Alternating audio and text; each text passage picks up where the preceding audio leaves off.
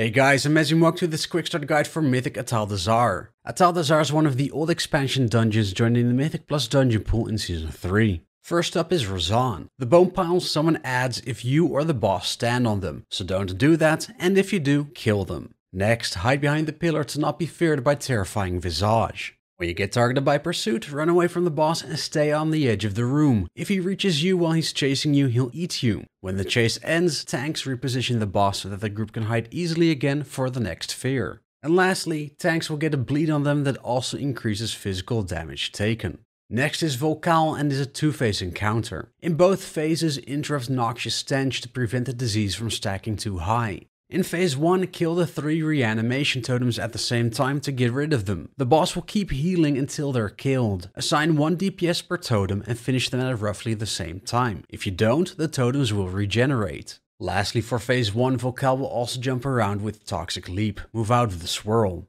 When all three totems are dead, phase 2 starts. Vol'kaal will stop jumping around and instead continuously spawn puddles. Don't stand in them and loosely spread out as you move around the room as a group. You can save space by standing next to existing puddles to help group the puddles up.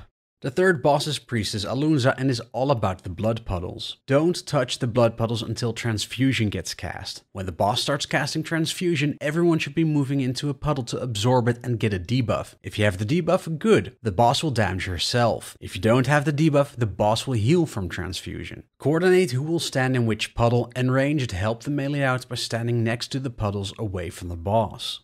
Next, Spirit of Gold will spawn. Slow, stun, and kill it. If it reaches a blood puddle, then you will lose it, so don't let that happen.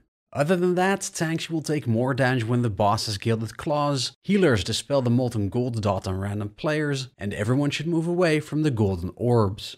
The final boss is Yazma. Let's start with the simple part. Interrupt racking pain, and tanks be ready to take damage from Skewer. Positioning is key on this boss. There are two different abilities that will require you to move in a certain way. The first, Echoes of Shadra will spawn spiders throughout the fight. Don't touch them unless you want to die. When they grow big, they will run at a random player, and if you do touch them, they explode and leave behind a puddle on the floor. The second ability is Soul. At 100 energy, the boss will put arrows on all players except for the tank. The four players need to move away from the boss. Souls will spawn and move towards the boss. Slow, stun, and kill these. They're not allowed to touch the boss because if they do, they'll explode, deal AoE damage, and leave a nasty dot on you.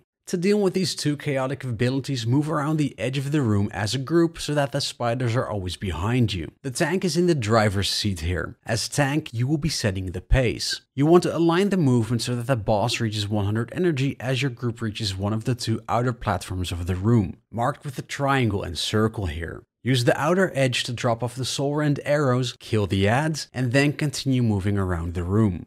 As more spiders spawn, you can use immunities such as Turtle and Bubble to pop some spiders. You'll sacrifice some space to have less chasing you around. If you'd like to see how the movement for the full fight works out in practice, I'll link a gameplay movements video just for this fight in the description. And that's all you need to know for the Atal'Dazar bosses. If you liked this video, please like, subscribe, and share it with others. I would very much appreciate it as it helps with the YouTube algorithm. For now, I'm Mezzy, and I'll see you again next time.